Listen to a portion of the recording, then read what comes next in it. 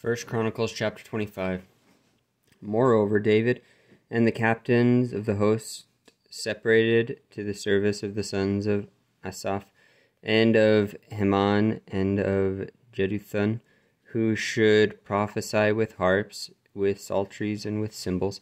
And the number of the workmen according to their service was of the sons of Asher, Zaph, Zaccur, and Joseph, and Nethaniah and Asariel, the sons of Asaph, under the hands of Asaph, which prophesied according to the order of the king, and Jeduthun, the son of Jeduthun, Gedaliah, and Zeri, and Jeshaiah, and Hashabiah, and Mattithiah, six, under the hands of their father Jeduthun, who prophesied with a harp to give thanks and to praise the Lord.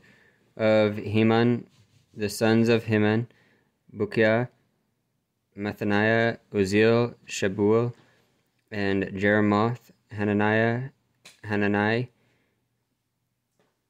Eliathah, Giddalti, and Romanti Ezer, Joshbekashah, Mallothi, Hothir, and Mahazioth. All these were the sons of Heman, the king's seer, in the word words of God, to lift up the horn, and God gave to Heman fourteen sons and three daughters. All these were under the hands of their fathers, of songs in the house of the Lord, with cymbals, psalteries, and harps, for the service of the house of God, according to the king's order, to Asaph, Jeduthun, and Heman. So the number of them, with their brethren that were instructed in the songs of the Lord, even all that were cunning, were two hundred fourscore and eight, and they cast lots, ward against ward, as well the small as the great, the teacher as the scholar.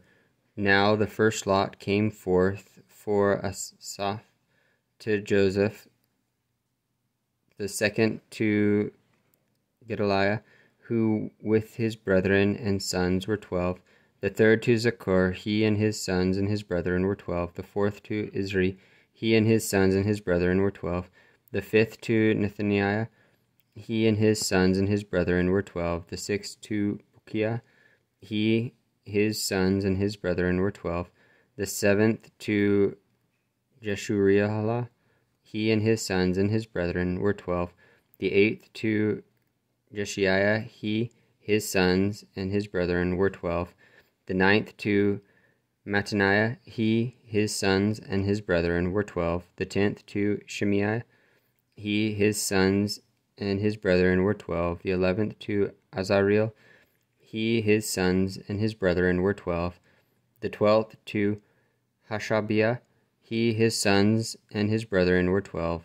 The thirteenth to Shubael, he, his sons, and his brethren were twelve.